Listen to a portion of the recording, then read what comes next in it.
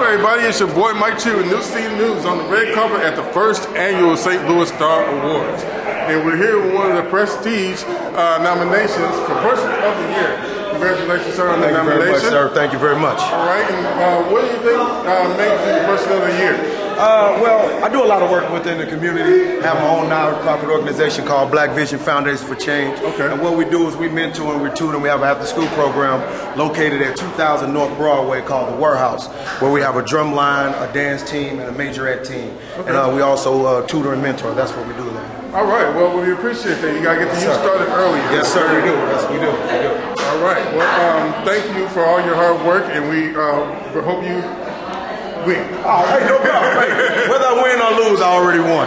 Thank you very much. Yes, sir. All right.